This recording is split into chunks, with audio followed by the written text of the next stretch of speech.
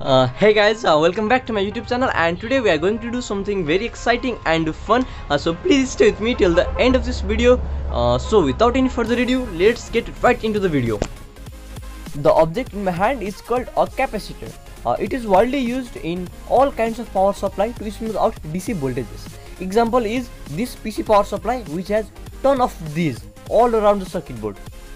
Uh, these are basically small energy storing devices for circuits similar to batteries but batteries are far more superior in storing energy than capacitors.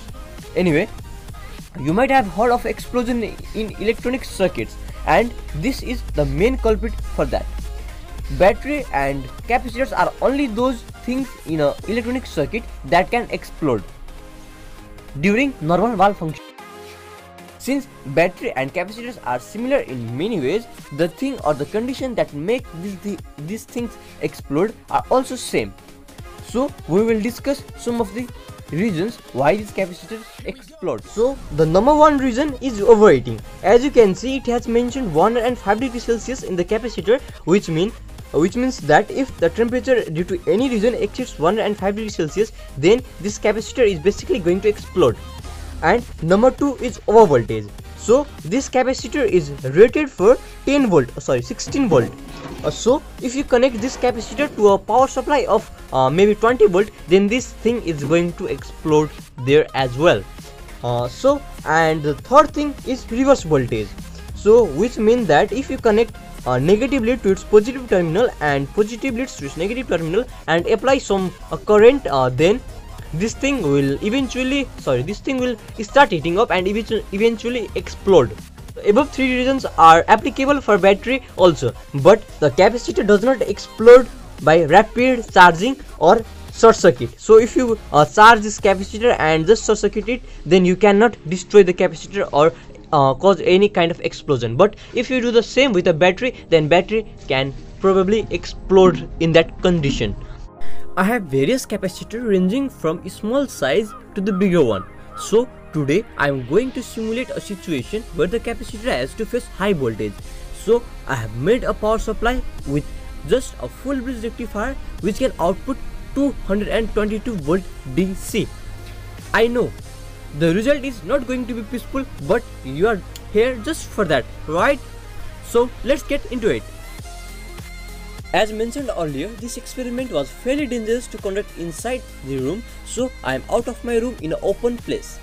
Uh, I also have a small plywood shield with the power source nearby with a switch. We will start with a small capacitor and gradually move on testing with bigger and bigger ones. So let's get started.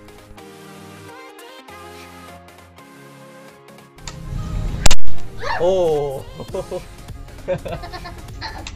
that was really cool. Now let's see it in slow motion.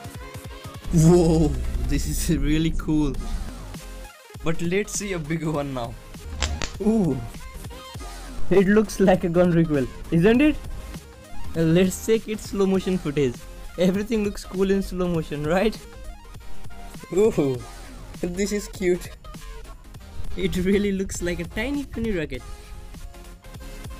I tried with another capacitor but it was just a smoke bomb. It is really cool to look at this thing but believe me guys it smells disgusting. I never wanna smell it again. Wow, this seems interesting. It took off right from my lab and landed in the moon. Don't worry guys, NASA astronauts will bring it back. Sorry, I don't have audio, but the explosion was best of all. And this is the result. So, the lesson from the video is that not all capacitors explode and most of them just give off lot of smoke even when they had to face much more worse condition than the normal one. So we can say that electronics have got much more safe nowadays and we don't hear electronics explosion that much. The reason why you should follow the warning instruction is because I was electrocuted and got huge electric shock while making this video due to my carelessness. So better not to repeat this at home. At the end if you enjoyed this video then a like and a subscribe to the channel would really be awesome. Thank you very much for watching this till the end. Keep supporting and i will catch you in the next one. Till then bye bye